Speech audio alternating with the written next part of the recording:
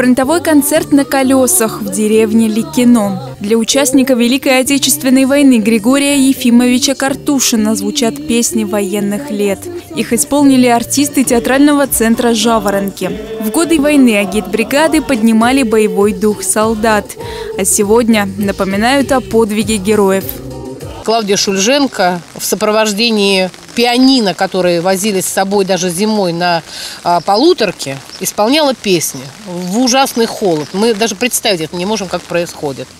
Вот сегодня дождь идет, да, и ребята, актеры, молодежь э, театра «Крылья» готовы, несмотря на это, петь.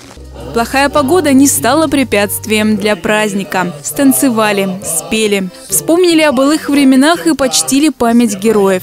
Григорий Ефимович не смог сдержать слез. За выступлением наблюдал с балкона. Спасибо вам большое за победу. Вы один из немногих, боевой у нас ветеран. Оставшихся. И оставшихся в том числе. Поэтому мы с большой теплотой, вниманием, любовью к вам относим, уважением, конечно. Вот в вашем лице мы как бы кланяемся всем.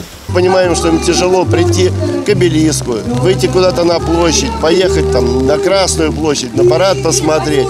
Ну тогда, значит, нужно приехать к нему. Вот мы сегодня поехали, поздравили. Он сейчас на балконе смотрит этот концерт. В непростом 2020 году дистанционный формат праздничных мероприятий был очень востребован. И в этом году он позволил поздравить ветеранов с великим праздником. Концерт в Великино прошел в рамках партийной акции «Поющие дома».